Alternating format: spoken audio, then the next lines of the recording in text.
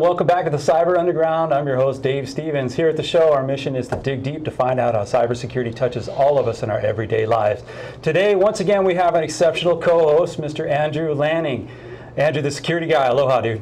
What's up, brother? Welcome back, Hey, man. Glad to be here. All right, Thanks, and we also have a great guest today. Again, joining us, is the president of the ISC2 chapter in Hawaii of uh, of the ISC2. What is the ISC2? Tell us again. ISC2. The International Information Systems Security Certification Consortium. Thanks for saying that for me. Is that why they have the two on there? Because Yeah. SS's and I- CC's. That's right, SCC, that's right. Yes, and These I guys, actually they got, got all those words cred- out right. They got more So, It's credentials. President the, Geoff um, Milford, yeah? the preeminent organization worldwide for certifications. They also have a foundation that does educational outreach to make everybody safer on the internet. Yes, very good stuff. Just Check on the internet.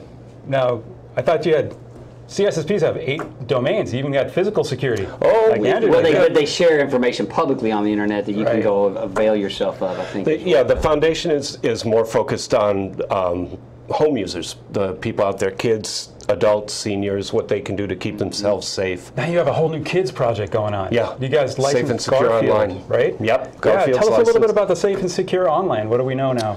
It's a new program now. Only It's a new couple of years. program. Uh, Garfield is the spokesman. The, he, um, Andrew Davis created a couple of new characters um, because some of the other Garfield characters obviously don't know much about security. They don't have any keyboarding Yeah, I skills. don't think Odie could do much. No, no, no. um, but the, the kids one is focused on cyberbullying, um, why you shouldn't share your passwords among your friends. Uh, you know, a lot of stuff that security professionals take for granted, but a lot of people just don't don't think about naturally. Yeah. So uh, the ISC has a URL. It's safeandsecureonline.org. And there's a section for kids, as I mentioned, a section for adults, and a section for seniors. Seniors, for example, has uh, how to avoid banking scams, um, how to set your computer up to be more secure, and things like that. So it's really focused towards the target groups. And we as a chapter are building our Safe and Secure Online program so that we can go out into the community and basically spread the word. This is what you can do to help yourself. You want to provide some of that training. Oh, we Exactly. can take the camera out. We have the, the mobile camera. We could go out and talk to people like when we see them doing stuff. Oh, wouldn't that be great? On the street, be fun, ask yeah. them some just questions on the expose street. them. We'll Yeah. just expose how bad How many everybody really is. passwords do you have? Yeah. One. One. Really? For everything. yeah. Wow. That's the worst thing possible, right? What's what's so bad about having one password, easy to remember, across all my websites? It's going to get out there in the in the criminal world. I, I mean, look what happened to Yahoo. What was that? Billions of, uh, of accounts got got or got breached. So people's Yahoo password and their account is sold on the dark web, and if you're using that for your banking account, then the guys can get into your bank, steal your money. Yep. Um, they can impersonate you. You know, maybe not as much as a financial risk, but damage your reputation, log Buy a into house your in your Facebook name. account, all those, Yeah. all those things. Yeah, there was a there was a hack a couple of years ago. Someone got into the Apple version of this, Mm-hmm. and of course, Apple has the ability to not only find your Mac online or find your iPhone, Right. but also to wipe it remotely. So people were having their Macs wiped remotely by the hacker, Yeah. and it was a big problem. Who corrupted their Yeah. credentials? Sure. Imagine losing all that data all of a sudden. Oh, and if you don't have backups, Too bad. Lesson learned. Everybody, backups, backups, backups. Those are some of the things we'll be talking about today. What you can do to protect yourself, backups, um, the ransomware Hmm. that's out there right now is just crazy. Um, make sure you take your backups and disconnect that external drive when you're finished. Because if you leave it connected, it's going to get encrypted Because that is a physically mapped network drive, Exactly. as long as it's connected physically to Yep. your computer. So the worms that go out there and fish for other computers on your network will recognize that We'll see as a device it wants to get. So WannaCry, who encrypted your, your your data on your computer, would see that remote as another computer. The tr- so the, even the backup is Even the backup, to it's right. that server messaging block we talked about how it trans- travels across there. Yeah, Right. so So you've got to That's an open door to that service. Right, right. So Yeah, um, or, or use a cloud backup. Yeah. But Backup some Backup, backup, somewhere backup. and make sure it's disconnected from your and lab. more than one location. That, that's what's great about back, uh, cloud backups, right? So you're you're getting your cloud certification now, Yeah.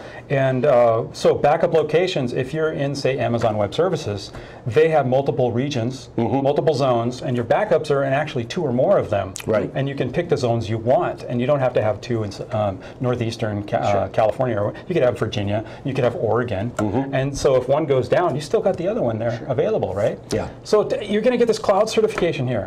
So that's a lot of security, and we're talking about online stuff. So Right. what is the cloud certification from the ISC2? It's somewhat similar to the CISSP in that security is security. So the Physical the security, CISSP network security. is a certified information system security professional. Professional. So that's the And that's- gold that's the standard premier, overall, right? right. So this one, the CCSP, is geared towards cloud. Cloud specifically, Cloud specific right, stuff. And right. break this down. Does it have the same security domains or? It has similar domains. Um, what I found studying was maybe 40% of it was review from the CISSP side of things, but of course there's a lot of new stuff being in the cloud. You have um, jurisdictional differences. Um, a lot of countries have different laws, different regulations that you have to consider. Um, encryption is critical. Um, you need to do due diligence with your vendors. You need to make sure the guy's not going to go out of business. If you're storing your data in a cloud uh, with a provider, how portable is it? What happens if you want to move to another per, another provider? Can you do that, or are they using a proprietary format of your data? How quickly can you get to it? If there's uh, e-discovery action against you and your data, is it in your SLA that you're going to be notified by the provider? Okay, let's Or is it going to come as a e-discovery is what? E-discovery is when uh, law enforcement wants to come look at your data for some reason. They think that maybe you've done something wrong. There's there's something there that they need that, that they've obtained a warrant to basically look at. You could be the piece of a puzzle on another case. Exactly, You're lucky if yeah. it's law enforcement that wants to look and That- not someone else's lawyer with a claim against Right, you, because then you might be paying for all that forensic discovery.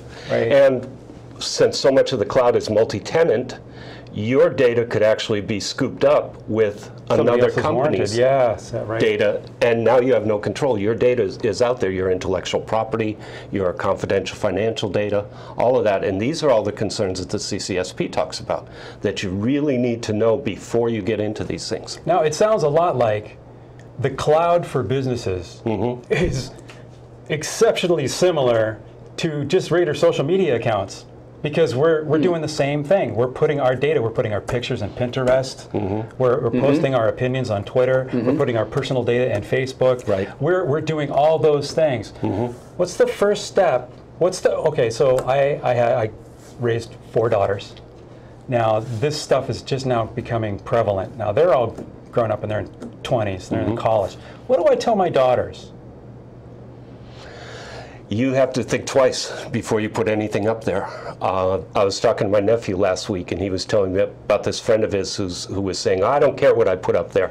It's never going to come back and haunt me. and of of course, you know, we, we can laugh being security people. Yeah, yeah. But the thing is that most people can't imagine what goes through the hacker's minds.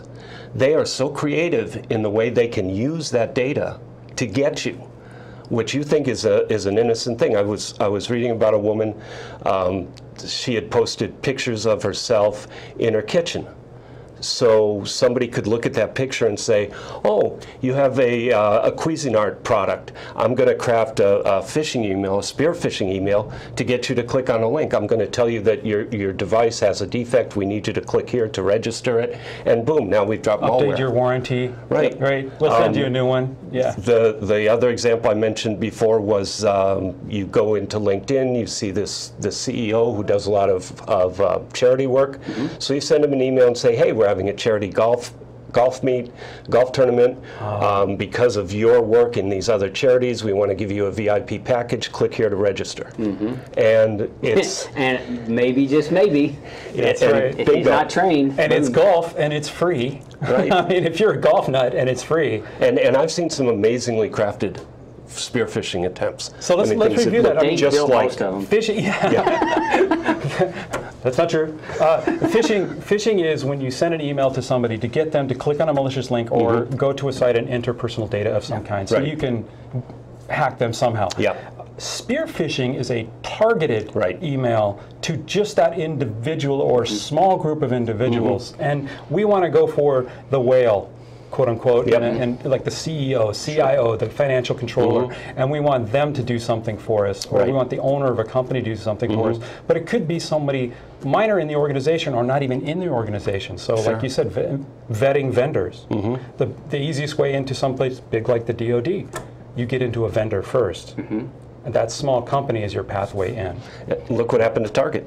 Yeah. They used the HVAC contractor, and the networks weren't segmented, meaning the customer data was on the same network that the traffic for the HVAC was for.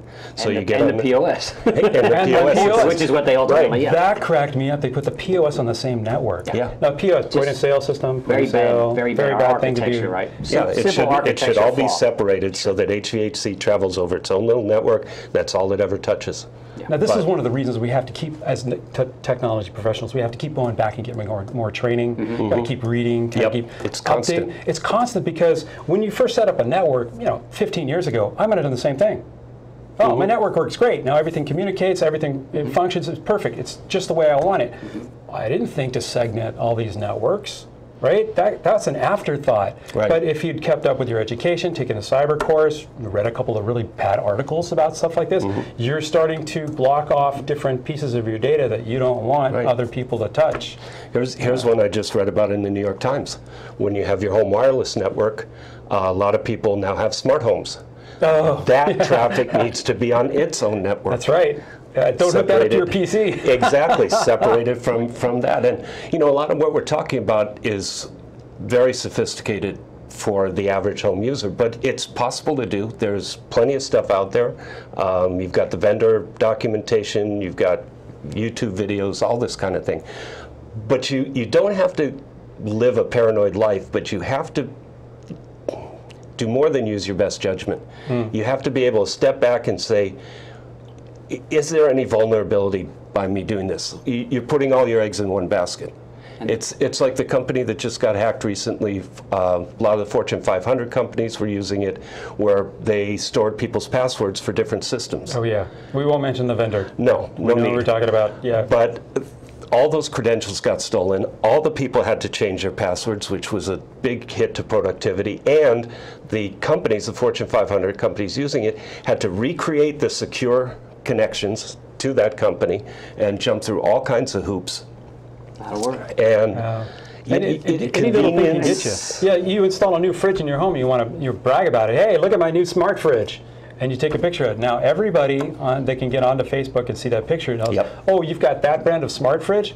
Cool. What's- IoT what's the default password? What's the default it. password? Shodan.com, right? Yeah, and the, the, I think the consumers, the problem with them is they really don't understand. As you mentioned, you know, when you when you can get an image of them or you know something that they have, Mm-hmm. they are a target perhaps for their work, and they just don't think about how a hacker is going to cross. How easy You know, if I can't get to you at your business and I need you, I will follow you home. I will Mm-hmm. see if your wireless is locked down. You know, this is what they're going Yeah. to do, and the, there's people that will pay you enough to get the information that you're seeking, right? And so- Exactly. And when it comes to social media, it's it's it's not just a matter of protecting yourself, but also your family. And Mm-hmm. Sure. uh, look at, I, I I hate this. Thank God I did not fall victim to this because I don't do that. But Ashley Madison, oh yeah. Ashley, the you know, if you want to have an affair, you go secretly on this website, sign Right. up, and you, you get a partner. And they got hacked. So these lists of people that were signed up for Ashley Madison, that's telling everybody, hey, I wanted to have an affair on my partner. Uh, How many marriages were ruined Yeah. because these lists went Yeah. public? And careers. and careers. I mean, and you're, you're that's a bad thing. I mean, especially if you have a secure job somewhere, DOD, Yeah. NSA, FBI. You don't want that kind of stuff public. Yeah, you, if you have one of those jobs, you shouldn't be doing that stuff anyway. You really obviously, shouldn't be. because you're gonna, you're probably gonna get caught You're otherwise. gonna get that. That's a good point. Uh, no matter what you do, if it's a crime in the internet technology world Mm-hmm. today, there is evidence of you. No matter what you do to back out of that, no matter what you do to erase your tracks, there's digital footprints everywhere. Mm-hmm. It's interesting how they have such trouble with attribution a lot of times, and, I- and I don't know if they're really keeping that from us, but we know that there's tracks, and, Sure. and I often wonder why we they struggle with attribution because they, you know, maybe they're, they're saving some of those final steps, so they don't want to give to the bad guys where they're catching them, what pathway they're coming across. But it's Yeah. interesting how we you get in from the media and from new, you know reliable sources. We find that uh, we've got all this information that really looks like this, but you really hardly ever find somebody that attribute exact something to someone and say, oh no, they definitely own this port, this IP Right. address, this MAC address came from here without a doubt, right? They know the first hop, but they don't want to talk We about just saw that this week with Reality Winner. Oh, Yeah. the They yeah. know that she printed that document on that printer. Because of the From attributes her of the piece of workstation. paper and a scan. The, the printer puts microdots on Yeah. the paper. Mm-hmm. Who knows about that except for geeks like ourselves? So they We're know that she printed it on that on that printer. She sent an email to I think it was the Intercept Yeah. from Right. that computer. Yeah. And you talk about attribution. Okay, maybe somebody spoofed her credentials while she was at lunch and logged on and did that.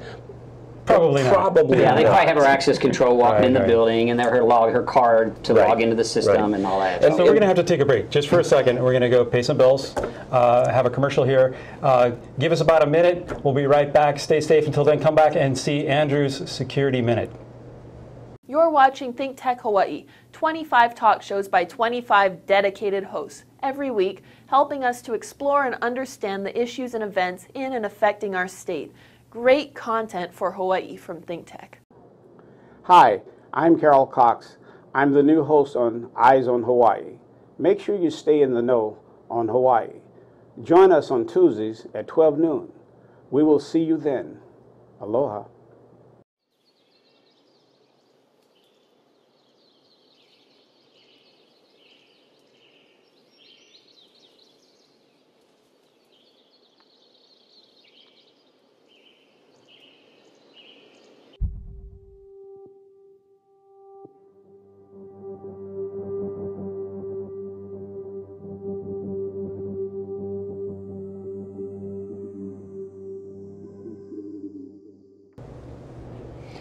Hey, welcome back to the Cyber Underground. I'm Andrew, the security guy, and today we're kicking around a little bit of cybersecurity. We're kicking around a little bit of passwords, consumer business.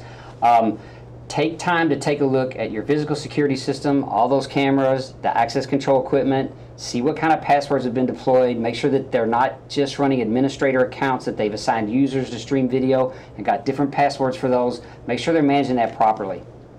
That's my security minute. Back to the gang. We got the professor and we got Geoff Milford here today. Which we, we call him Mr. Perfect. Yeah, El we got the professor and on one show. Awesome. Uh, you got the okay. So shout out really quick to your show, uh, Hibachi Talk. You and Gordo did a great show uh, this week. Yeah, we had a, a I had no idea what Rotarian. Yeah, it was great. Rotary. I had no idea what that was.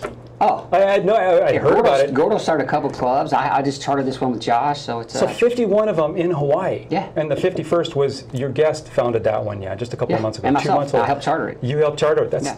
dynamite. It's amazing I, stuff. I had no idea. Great stuff. You so you don't sleep. You just Can you tell? never. You See these just- eyes?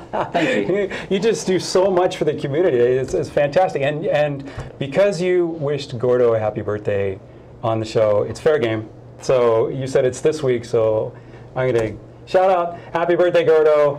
Happy Uh, birthday, Gordo. Happy birthday, Gordo. And Nice. and you held up the, the bottle of Bowmore. Yeah. So uh, we're looking for you want to be there when he opens that up. You just don't want to be on the streets. yeah, right. So it was a good show, and you guys always have a good time. Uh, the young Well, guests, you're though. get back on there with us. You know. I This, love this you. You brought me conversation crosses all over. We cross from cyber. We cross from bot. cross pollinate. Yeah. Well, let's get back to security, Geoff. That's why you're with us. Uh, we have social networks that, Mm-hmm. especially nowadays, our youth uses these. Yeah. And not just teenagers. We're talking about preteens use this stuff. I mean, I think their whole lives are on there. it- Mm-hmm. I mean, how weird is that? realistically, you know, That is their whole lives are there for the taking. You know, for the if someone wants to get that data, you know, it lives there forever on those servers of Right, that provider. right. By and large, maybe some of them are show and they disappear. Snapchat, maybe not. You know, who knows? Now these these these kids get a smartphone when they're very young, Mm-hmm. and this is they really don't understand the underlying technology. No one explains it to them. This is just a magical, ubiquitous device that's always connected to this ethereal thing called the, the internet, and it's always available. And their when they don't have four bars, they're mad. And your Right. friends can find you anywhere. I wonder who else could. Yeah. They Look- look what it stuff. They're not thinking Yeah. that stuff, right? so uh, let's pretend we're parents, we have small children, and we actually make the, the terrible mistake, I think, of giving them a smartphone Mm. and saying, here, try out Pinterest and, and Facebook and Mm. all the other uh, social media sites that pop up here Mm-hmm. all the time. What would you say to parents? Some of the some of the first steps to getting your kids to secure their social media accounts so they don't just broadcast all this information. What are the dangers? How do we stop it? I think as a parent, you have to stay interested. You don't necessarily have to look over their shoulder constantly, but you have to know what accounts they have. Maybe you log into their accounts and see what they've been up to periodically, random audits. Um, same thing that happens to us in, in our work life. Um, you have to, you can't scare people, but you want them to understand the dangers. Um, One of the things the Safe and Secure Online Kids program talked about was the person who shared their social media account with their friend, and as often happens with kids, they had a fight, and that person could log in as you and destroy your reputation at school by posting false things. Or the girl that goes into the women's restroom and takes a compromising photograph and oh, shares it with somebody. Hmm. They, I saw a video that was really disturbing because by the time the girl came back in the classroom, that video or that picture had been shared among It's already everybody. circulating, And yeah. you can't remove that. It's like we say, it's there forever. It's forever. People think, oh, I deleted that email. Well, you deleted it maybe from your machine and, and maybe from your account, but it's backed up somewhere.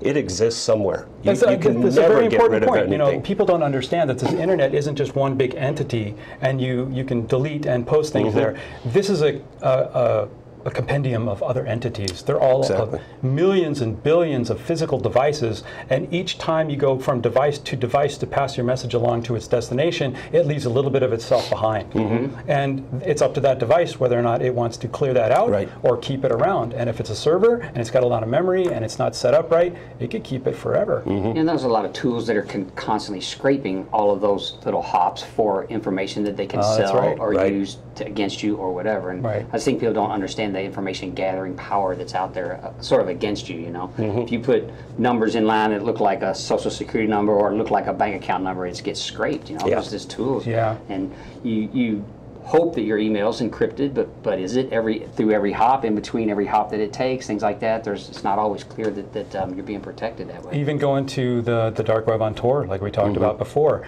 the last hop from the Tor network to your destination, if that's not HTTPS, it's in the clear. Mm-hmm. in the clear. Mm-hmm. Right? And Yeah. people can see where you came from and what you're doing and every all the traffic that goes back and forth. Yeah, people should assume that their their information is in the clear. You know, when you're putting that stuff out there, you should just assume your grandmother's going to read it, your mom's going to read it, whoever the, that you would be most embarrassed by reading that kind of information. You should presume that they're going to have access to it. And don't get mad that people and do that. that way. Um, Yeah, I, I hear I hear you. people. So this is this comes up in my classes every single year.